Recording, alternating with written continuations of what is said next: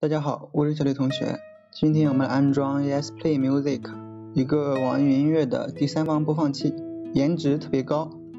我们来先看一下它的 GitHub 的界面，这是它的介绍。这个工具呢是有，呃，你可以直接把它的安装包下载下来安装使用，支持 Windows、macOS 还有 Linux。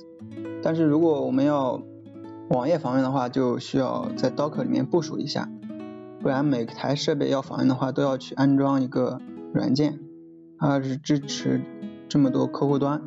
大体是只有 Mac 和 Linux 还有 Windows 的。手机访问网页的话是没有做优化的。我们看一下它官方的一个演示，就是这个样子，颜值是比较高的。设置里面设置的默认访问的时候，它这个音源是 Apple Music 的，可以去登录网易云音乐的账号，然后可以去连接 Last FM，然后播放一个听一下。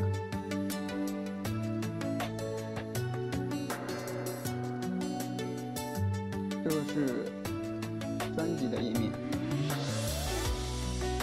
然后这个，然后是歌词的。我们安装 Docker 里面的话，安装好之后的效果跟它这个是一样的。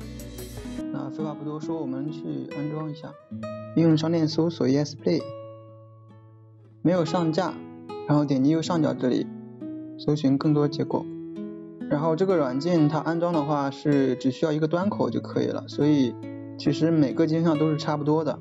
那我们看一下哪个镜像最新一点，嗯，那就这个吧，就这个第一个，点击安装，名字的话随便，然后添加一个端口就可以了，端口是八零，然后我们访问的端口的话六六八八吧，应用好，已经下载安装好了。访问一下，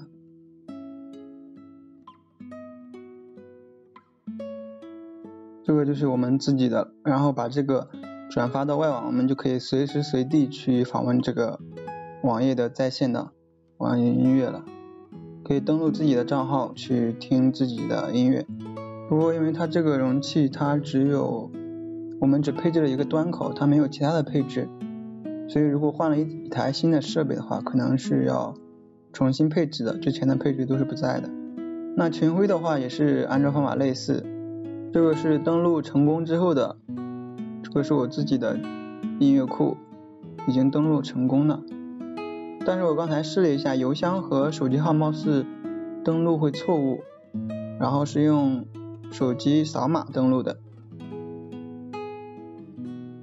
这个界面是很漂亮的，如果长期在一个电脑用的话，建议还是下载客户端。